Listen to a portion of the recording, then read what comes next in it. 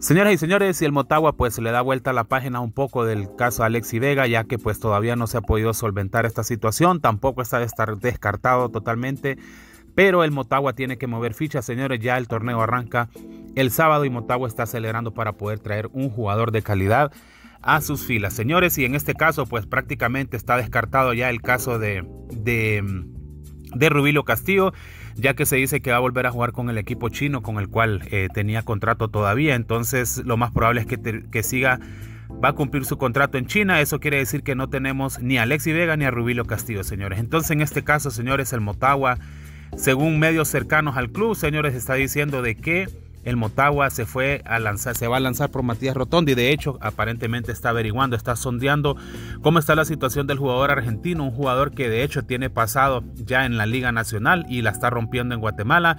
Eh, Matías Rotondi es un jugador argentino, señores, y al no venir Rubilio Castillo, lo más probable es que Motagua esté buscando agarrar un buen delantero. Señores, este es un delantero que tiene mucho gol, está actualmente, juega, señores, está jugando en el Comunicaciones de en el municipal, perdón, de Guatemala.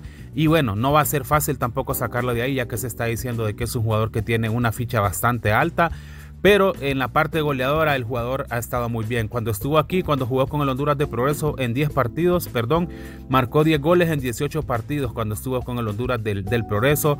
Después se fue para el Malacateco y marcó 18 goles en 27 partidos. Cada vez iba aumentando más y actualmente en el municipal, el club en el cual está actualmente ya lleva en 51 partidos 20 goles, lo que indica que tiene un promedio goleador de más de 40%. Eso indica que es un buen goleador.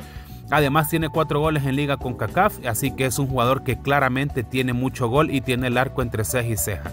Y es un jugador que le vendría bien a Motagua porque tiene mucho gol, tiene mucha movilidad en el área, es un centro delantero que también puede jugar como extremo tiene velocidad y es un jugador que le vendría bien a Motagua. Ahora, el problema económico aquí es el siguiente, señores. Se está diciendo que aparentemente el jugador, el Motagua tendría que pagar más de 100 mil dólares para sacar al jugador del equipo.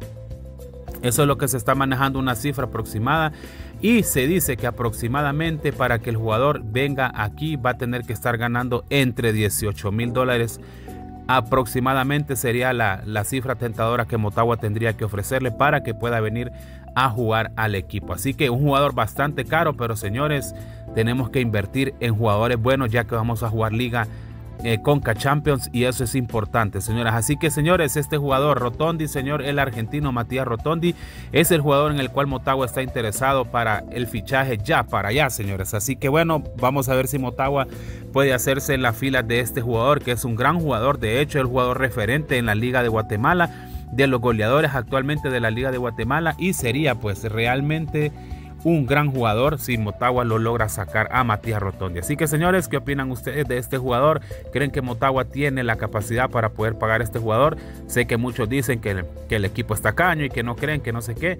Y yo les entiendo de verdad, pero Motagua va a tener que hacer un esfuerzo si realmente quiere sacar, ya que igual Alexi Vega no se sabe eh, Motagua tiene que traer un jugador de calidad y con gol asegurado, señores. Recordemos, señores, que el gol. El gol se paga. Y todos los delanteros goleadores del Motagua o cualquier equipo va a tener que pagar porque el gol es el que mejor se paga, señores. Así que si queremos ser competitivos, tenemos que luchar por traer los mejores jugadores. Señores, esto es un rumor todavía, pero el Motagua sí es cierto, el Motagua está sondeando y de hecho va a presentar una oferta en las próximas horas y esperemos que el municipal pues se pueda hacer y pueda aceptar y esperemos tener un jugador de calidad como este. Así que señores, yo lo dejo por aquí. ¿Qué opinan ustedes? Dejen su comentario. ¿Qué opinan de Matías Rotondi? ¿Creen que puedan ir a Motagua? Pues dejen su comentario para, como siempre, intercambiar opiniones. Así que lo dejo por aquí. Les mando un fuerte abrazo. Adiós.